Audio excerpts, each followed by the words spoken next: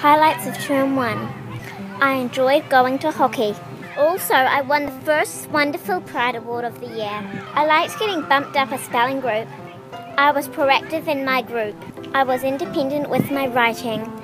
I had excellence in my maths. I gave respect to my teacher and determination in my swimming. I loved swimming. I went to Mr. Saw for enrichment hour, and my favourite thing was doing the stick game Bye, Hannah.